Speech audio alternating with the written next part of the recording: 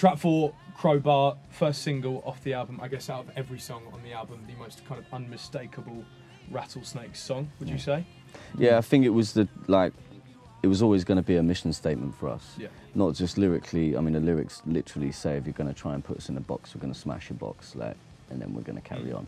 Um, but musically, it was like, it, it was the way that we. It was the easiest transition, wasn't it, from Modern Ruin, through, Yeah. from Blossom through Modern Ruin into like future Rattlesnakes.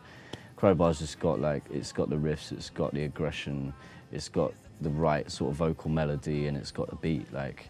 And so, um, of all the first choice singles, um, this was the most like Motorhead. Yeah. Yeah. Yeah, Underneath that uh, that big sound, that unmistakable rattlesnake sound, it's a, it's a lot of sentiment in there. There's Mm. a lot of emotion under under underneath it. Well. I think I was always, I think I'm always nervous, like with my art. Like when you, when you finally get down to record an album, it's such a personal thing. It's such an intimate like thing that you share with a small group of people, and you, and you're really trying to put forward like a new, a new chapter for everybody, you know.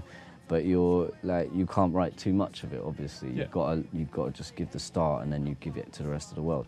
With this, uh, with this tune, like like I said before, it was about it's about being yourself, but it's also about how like society, your family, education, even your friends, your peers, they they all have a different perspective of what is right and wrong in the world. Everybody does, you know, like the way we all live is not always acceptable for other people. But the fact of the matter is like no one can ever tell you how to live. The minute you start living in someone else's like rules, it's the quickest route to unhappiness. Do you know what I mean? And I think that was for me like what I was. I was. It was more a mission statement to myself. It was more a reminder, a stark reminder, to say like, be yourself, go and explore, do whatever the fuck you need in life, and you know while you're doing it, don't worry. Like just just relax. Like because if you you've got one life, so you better fucking enjoy it, and and you may as well enjoy that by doing whatever it is that you want to do. Absolutely. You know, like love whoever you want, kiss whoever you want, listen to whatever music, dress the way you want. Like, don't stop living in other people's guidelines of what they think is right for you, and that can be your partner, your parents, your boss, your your work colleagues. It doesn't matter. Like, unless you are happy in yourself, that's that's the only thing that matters, and that's what the song's all about. And Cam and Alan, when when Frank and Dean came to you with, with the album, or when you were put, putting it together, were you were you surprised at the almost the, the tone of the album and, and how it sounded at all? Did you expect it?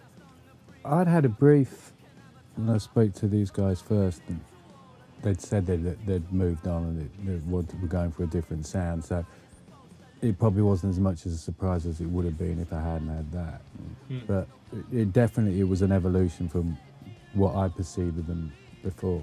And Cam Yeah. for you? Well, it came to me, uh, when they came to me with it, the first thing we did, and Crowbar was half n- towards the end when Yeah, we it did was, it, didn't yeah. we? Because we were c- was scared of it.